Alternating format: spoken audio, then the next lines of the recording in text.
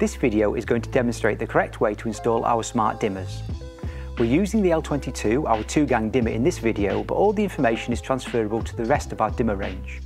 The first and most important step is to make sure the mains power is turned off and check to make sure before commencing any work. Loosen the standard light switch from the wall, identifying cables before you remove the light switch. Take a photo if you need to for reference later. Carefully unscrew the terminals of the light switch. Remove the faceplate of the Lightwave dimmer carefully without scratching it.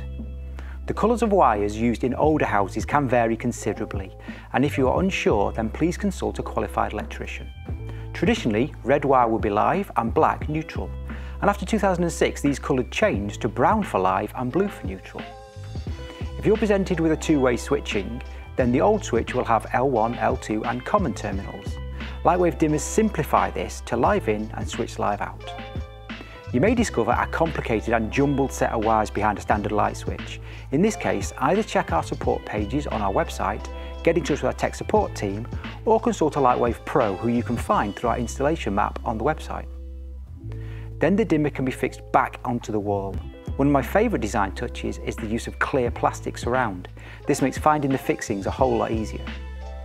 Put the faceplate back on, again carefully not to scratch anything, and then the mains power can be turned back on which triggers the dimmer into auto calibration mode.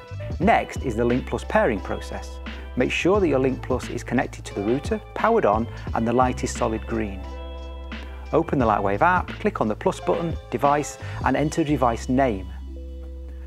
Place the dimmer into linking mode by pressing one pair of buttons simultaneously. When the LED flashes alternately red and blue, press the link button on the app. The dimmer will flash rapidly light blue for a short period of time. The app will ask you which room you would like to put the device into.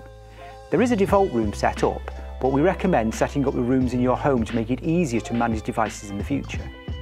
Click Done in the app and the pairing process is complete.